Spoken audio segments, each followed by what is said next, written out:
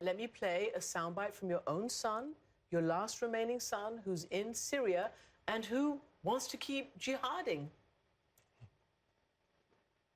It is the real victory for one can get for himself is martyrdom, and it's the greatest success a person can attain, as you are assured paradise in the highest level of paradise.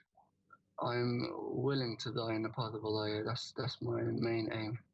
I have promised uh, Allah that I will stay on the way of jihad until I get killed.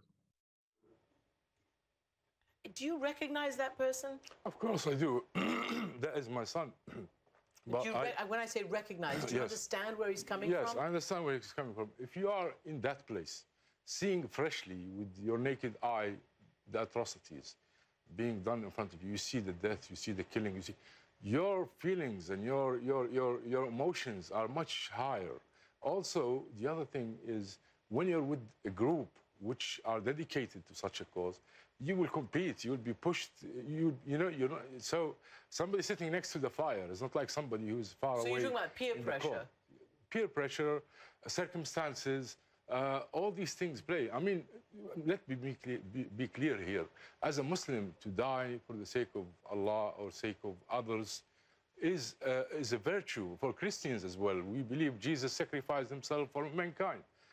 They believe the Christians. So really, this this ideology or this is we have yeah, no you're problem not with it. But- recommending but- that your but yes. sons or other people Exactly, go but there. going to Syria and saying that this is the place, no, because Syrians don't need you there as a foot fighter. You can help from here, and your soul should be only sacrificed when it's very vitally needed, not in any cause and just like this, you know.